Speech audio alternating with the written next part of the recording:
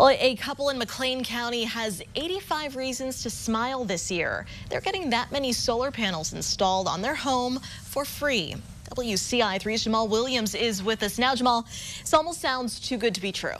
Well, it actually isn't, Jessica. It's part of a program to help those who are struggling to make ends meet. Today, I visited a home in LeRoy that's being worked on. Solar Power for All offers guaranteed savings and electricity costs for qualifying households. Each county has its own range of qualifications based on house size. Those earning less than 80% of average area income are eligible to have solar panels on their homes. When Jacob Lay lost his job last year, his wife Kelly had to take care of the financial burden. Their electric bill accounted for 10% of her annual pay.